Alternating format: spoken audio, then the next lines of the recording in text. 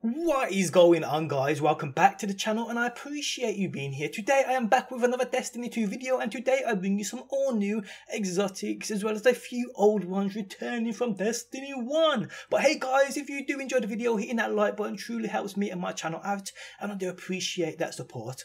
Okay, now before we get into the confirmed exotics, last night I was sent an image. You may have seen it, you may not have, and it's on screen now. This image is part of the Warmind DLC 2 set on the PlayStation Store. Now you may be noticing a few interesting things about this image. Firstly, but not the main concern, is the weapon the Titan is holding at the forefront of this image. This is one unique looking weapon for sure. It's also the very same weapon Ana Bray has within the Warmind cinematic, as you can see on screen now. So what is this weapon? Now at the moment we have seen a few different styles of new weapon designs, the Bray Wolf weapons and the Ikelos weapons. This in my opinion is definitely not one of the Ikelos weapons, it just doesn't match that design theme of those much like the Sleeper Simulant. The Bray Wolf ones though I ain't sure, we've only seen a couple of these and they don't really match this, but I could be wrong. It's definitely a weapon of interest though considering Ana Bray uses it herself. Is it a new exotic? I won't say it is because I actually don't know, but it could be. But it would be interesting even if it wasn't a new exotic that there was some kind of secret quest to unlock this, along with a variety of other weapons too. Bungie said they want to bring back mystery to the game. They want people to once again have that feeling of finding clues to unlocks much like what we had with the Black Spindle and the Outbreak Prime. Things are actually missing this game. It also kind of reminds me of the Raid Lair 1 weapons, so this indeed could be a Raid Lair 2 weapon, possibly. That kind of makes sense, but guys, we will see. Now enough about that, and onto the point, and that is the weapon being held in the background by the Warlock, I believe. It's kind of hard to see. Upon the first glance, I thought this was the Sleeper Simulant.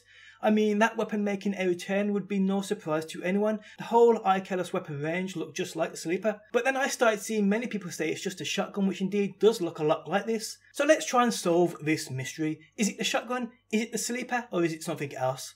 Well, on screen now we can see the shotgun. Now it's quite clear to me that whatever this weapon is, it isn't this shotgun. The design along the weapon is completely different. Also, the sight is way, way off. I mean, it doesn't use up many brain cells to figure this out, that's for sure. There isn't even need for a closer look. This is definitely not the shotgun. So let's get an image up of the sleeper simulant from Destiny 1. I mean, hey people, they kind of look almost identical in every single way. The shape of the body, the diamonds along the weapon, both top and bottom, match perfectly. The points around the nose of the weapon, the sight is at the exact angle, and also the mere size of the weapon. I think this 100% is that of the Sleeper Simulant, or some kind of variant of it. There's no doubt in my mind. I mean, it might have a different name to match the other Ikelos weapons. Maybe it's a weapon rewarded for collecting the other Ikelos weapons. So you have to collect them all first, and then you are given a secret quest to complete the set and get this variant of the Sleeper Simulant. Who knows? Although I don't agree on all the exotics being locked behind a certain amount of grind, considering we already grind for the weapon within Destiny 1. But hey, it might be slightly different to the Sleeper. It may perform differently. We don't know. But this, without doubt, in my opinion, guys, looks exactly like the Sleeper Simulant. What do you think? Let me know down below. Okay, so we're going to move on. And if you didn't see these covers yesterday, but almost everybody, I will have you covered right now. So there are a few old exotics returning. We have the Apotheosis Veil for the Warlock.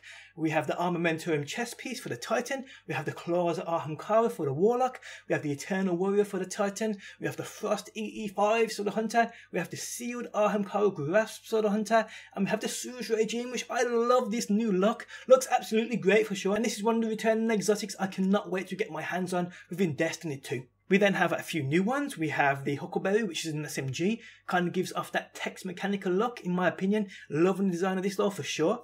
We then have the Ashen Wake gauntlets for the Titan. Not the best looking, in my opinion. We then have the Sanguine Alchemy chest piece for the Warlock. Looking pretty decent, not gonna lie. We then have this amazing looking chest piece for the Hunter called the Ophidia Spathe, I believe that's pronounced. Looking absolutely epic as hell. We then have the Oculus Xol for the Warlock, which is basically a hive mask.